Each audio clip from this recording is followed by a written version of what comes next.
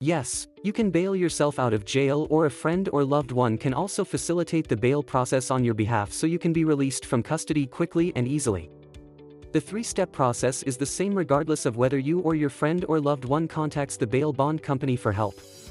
Here are the three steps in the bail process after arrest. A bail amount is set by the court to ensure the defendant appears at the scheduled court date. A licensed bail bond company will offer free consultation and bail information.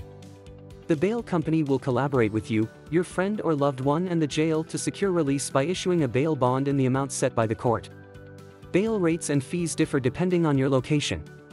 To learn about state-specific information, including costs, contact the largest most professional licensed bail bond company in your area.